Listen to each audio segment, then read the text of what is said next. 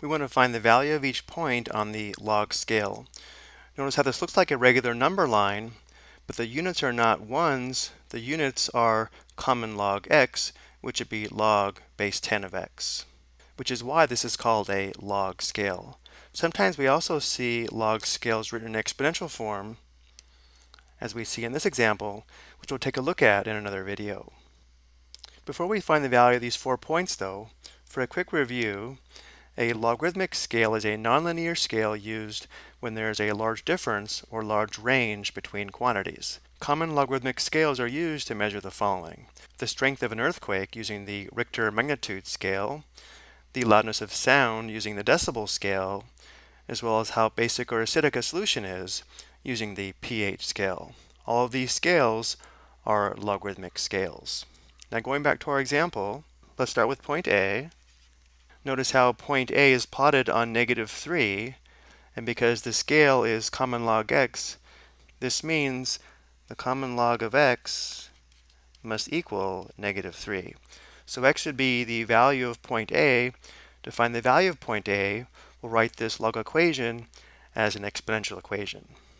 And for a quick review, if we have log base b of c equals a, b is the base, a is the exponent, and c is the number. So again, because we have common log x, we know this is log base 10 of x. So in exponential form, we'd have the base 10 raised to the power of negative 3 must equal x, or x equals 10 to the negative 3. Another way to form the exponential equation from the log equation is to start with the base and work around the equal sign. Notice how if we start with the base of 10, we can form the exponential equation by saying 10 raised to the power of negative 3 must equal x.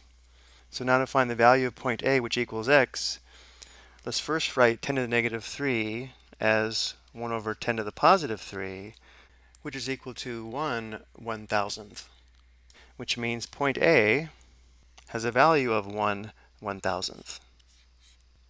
And of course we can check this on the calculator. Notice how 10 raised to the power of negative 3 as a decimal is 0.001.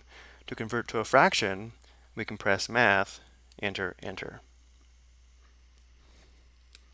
Now let's take a look at point B. Notice point B is plotted at negative 1.5 which means common log of x equals negative 1.5, and x would be the value of point B. So now we'll write the exponential equation. Again, we have common log, which is log base 10. So the exponential equation would be 10 raised to the power of negative 1.5 must equal x, or x equals 10 raised to the power of negative 1.5. We can also form this equation by starting with the base and working around the equal sign, 10 to the power of negative 1.5 must equal x. Now here we could write 10 to the power of negative 1.5 as 1 over 10 to the power of 1.5, but either way here we'll have to get a decimal approximation. So going to the calculator, we'll just enter 10 raised to the power of negative 1.5. So 10 raised to the power of negative 1.5 and enter. If we round to four decimal places, this would be approximately 0.0316.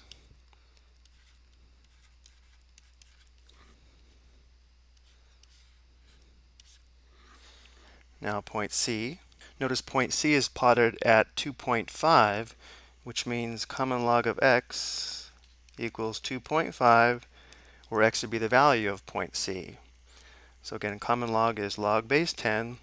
So the exponential equation would be 10 raised to the power of 2.5 equals x. Or if we want x equals 10 raised to the power of 2.5. We're working around the equal sign, we'd have 10 raised to the power of 2.5 must equal x. And here, because the exponent is 2.5, we will have to get our decimal approximation. So back to the calculator.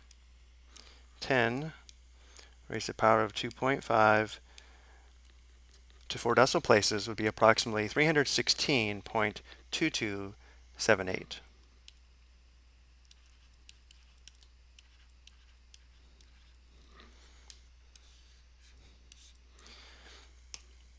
And finally for point D, notice point D is plotted on 4, which means common log x equals 4, where x would be the value of point D, Common log again is log base 10.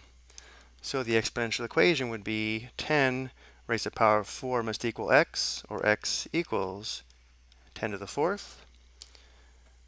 Or again, working around the equal sign, we have 10 to the fourth must equal x. 10 to the fourth is equal to 10,000. And therefore, point D has a value of 10,000. And of course, we can check this. 10 to the fourth equals 10,000. I hope you found this helpful.